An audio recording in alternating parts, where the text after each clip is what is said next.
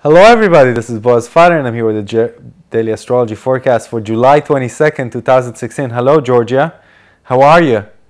You want to come over? Or you want to stand there looking at me? You think you can make it jump? You're not sure? Well, you decide if you want to. Anyway, you know, these past few weeks have been emotionally straining. We feel like we're going from one thing to the next, from one thing to the next. We don't have any time to relax. And really, the emotional strain has been tremendous. We are lucky that during the weekends, we get pleasant aspects that can really recharge our batteries and give us emotional sustenance for the rest of the week. And so it is today. The moon is in Aquarius, it is void of course, but it still aspects. Uh, it trines Vesta, and that means that this is a great time. I mean, every time the moon is void, of course, it's just a, a minor energy, you know, it's like we need to, to play the minor chords and not the big ones. It's not the big orchestra playing, it's just the background music. And when the trine to Vesta comes in, this is a time to be loyal to ourselves. It sort of continues the theme, the theme from yesterday about making sure that we give enough time and focus to the things that really fill us up in life, that really recharge our batteries, that really are important to us.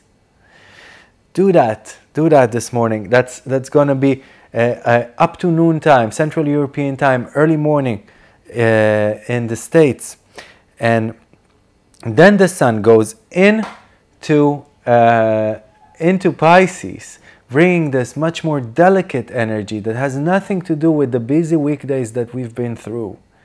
It's a much more artistic, spiritual energy that's not so much in touch with time and space. And it comes in with a trine to Juno and a sextile to Ceres, and this is really a blessed time to take the people that you care about, the people that are important to you and to do some joint activity, whether it's a simple thing like eating something to the, together, drinking together, talking, going out to nature, feeling the breeze on your face or the water going uh, through your, uh, uh, putting your feet in the water, whatever it is, reconnecting, reconnecting to tranquility, reconnecting to pleasantness, reconnecting to the enjoyment of the simplicity of life and really letting all this tension, this weekly tension, vent out. This is a day that we should treat as if all these connections, these relationships, these activities are emotional sustenance for us. They're food for our hearts and souls. If you are in the States or if you're very, uh, if you're early, if, if you're up very late in Europe from uh, around 1 a.m. Central European time, that's around 1900 hours Eastern Standard Time onwards, things become much more delicate and sensitive.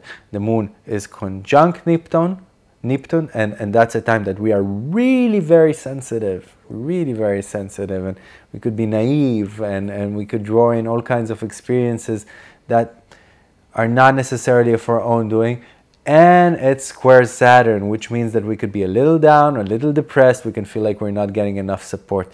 And this is going to be there up to the next morning if you are in Central Europe, but it's going to dissipate uh, early morning Central European time, and it's going to be through nighttime, through your nighttime in the States.